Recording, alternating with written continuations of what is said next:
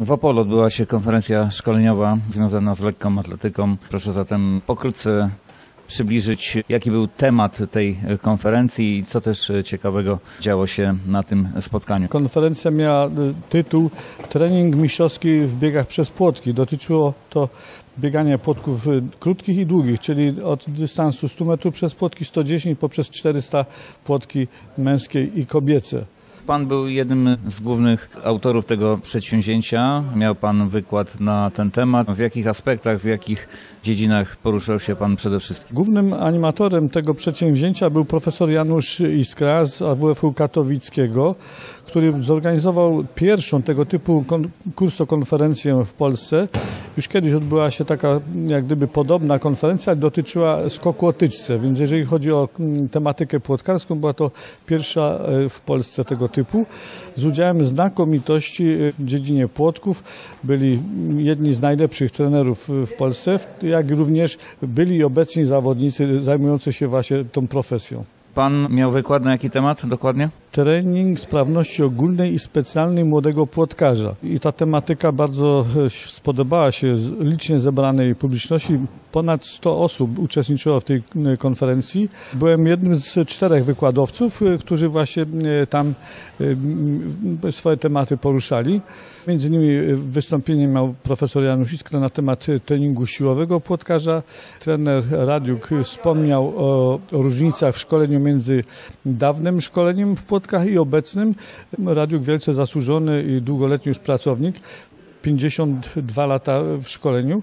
Na koniec jeden z młodszych prelegentów, nasz wychowanek Ronald Melich, miał właśnie wykład na temat y, personalnych współzależności między trenerem a zawodnikiem.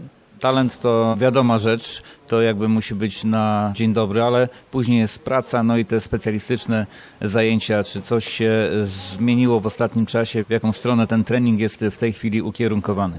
Ja podkreśliłem e, z całą stanowczością, że e, niezależnie od trendów, jakie w tej chwili e, istnieją, Podstawą jednak szkolenia jest sprawność ogólna.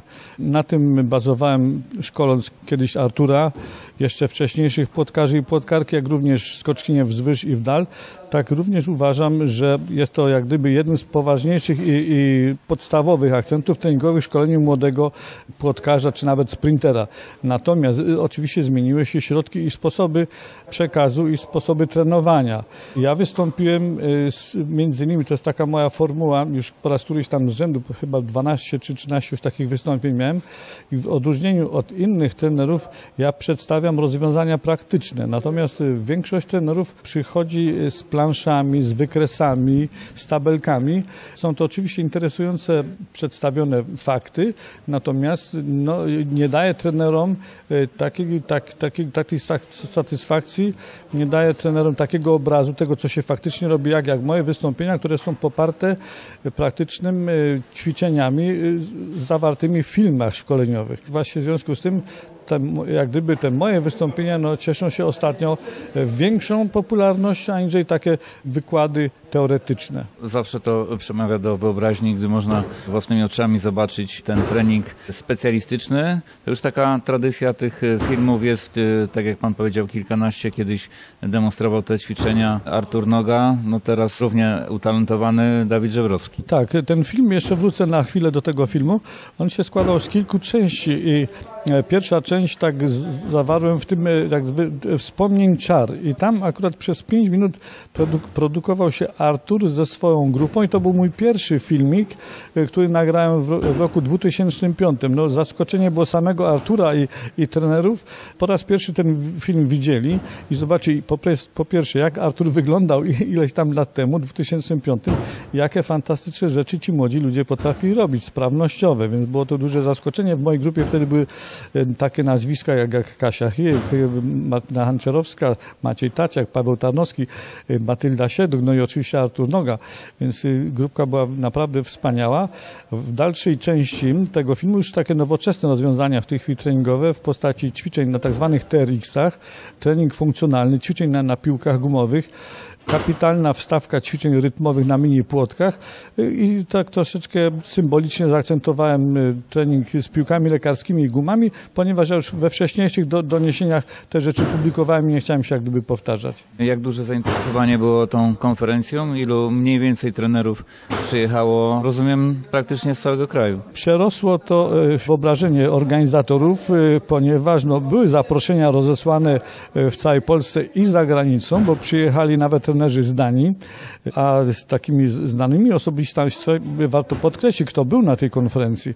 Oczywiście prezes y, Skucha, Jerzy Skucha, była Grażyna Rapsztyn, była Anna Jesień ze swoim mężem, był Paweł Januszewski, był Artur Kochutek, wcześniejszy rekordzista, był Artur Noga, był Radiuk, y, był trener Sławomir y, Nowak, no i wielu, wielu innych, więc same znakomitości, które no, oczywiście była dyskusja, był panel taki dyskusyjny również, no i te, te prelekcje, ale z tym, że muszę się pochwalić, że, że ta moja prelekcja, ta moja prezentacja wywołała ol- olbrzymi ap- aplauz i największe, największe zainteresowanie właśnie tym moim wystąpieniem, ponieważ jak już wspomniałem wcześniej, te praktyczne rozwiązania e, trenerskie no, rzeczywiście trafiają najbardziej i do młodych trenerów, i, i do trenerów już nie starszych, którzy jeszcze się ciągle szkolą, tak jak zresztą i ja. Panie trenerze, czy była jakaś konkluzja, w jaką stronę, w jakim kierunku nasze płotki powinny iść, żeby został jakiś wypracowany jeden wspólny model, który jeszcze mocniej zaznaczyłby później występy naszych zawodników, nie mówię w kraju, ale na arenie międzynarodowej, bo wiadomo, że każdy gdzieś tam pracuje w klubie, w szkole, na swoje nazwisko, na nazwiska swoich podopiecznych, no ale chcielibyśmy w takim szerszym spojrzeniu też, żeby, żeby te płotki cały czas liczyły się nie tylko w Europie. Koncepcje szkoleniowe zmieniają się od y, sytuacji. Ja sam, kiedy mam w tej chwili Dawida Żebrowskiego, no troszeczkę inaczej trenuję. Artur y, też ten, trenował inaczej. Większość tych y, planów treningowych bazowało na już wcześniejszych y, informacjach nabytych od takich trenerów jak trener Szczepański, Radiuk, czy też biegu na 400 metrów innych szkoleniowców. I to jest w tej chwili taka kompilacja tych, tych wszystkich systemów szkoleniowych. Oczywiście wybieramy te, te naszym zdaniem najlepsze rozwiązania. Świat idzie w tej chwili w kierunku szybkiego biegania płotków, czyli technika oczywiście jest ważna. Najważniejszy jest rytm i na tym się skupiamy. W tej chwili wszystkie jakieś ćwiczenia takie o maksymalnym rytmie, o maksymalnym y, szybkim pokonania płotka i taki w tej chwili jest, t- taki jest trend, taka jest właśnie w tej chwili moda jak gdyby e, na to wszystko. Oczywiście to poparte jest bardzo wnikliwym treningiem siłowym, ale niekoniecznie treningiem takim maksymalnym. Siła maksymalna, pakowanie dużych e, ciężarów, robienie kulturystyki nie sprzyja specjalnie rozwojowi rozwojowi szybkości, bo, bo w pewnym sensie nadmiar przerostu mięśniowego no, hamuje jak gdyby prędkość. Cała mądrość trenerska polega na tym, żeby wyważyć pewne, pewne właśnie proporcje między siłą, szybkością, skocznością, wytrzymałością, gibkością, techniką. Więc to cała, cała umiejętność. Ja wystąpiłem w tym filmie oczywiście z fragmentem y, procesu szkoleniowego, czyli z, z treningiem sprawności ogólnej i parę ćwiczeń specjalnych. Natomiast no, jak gdyby wszystkich kart nie odkrywałem, bo ja nie powiedziałem, co robi Artur na treningu jeszcze oprócz tego. A oprócz tego no, biega się płotki różnego rodzaju, biega się odcinki wytrzymałościowe, szybkościowe i wiele innych takich historii. Na tym spotkaniu no, y, trudno byłoby to wszystko zmieścić.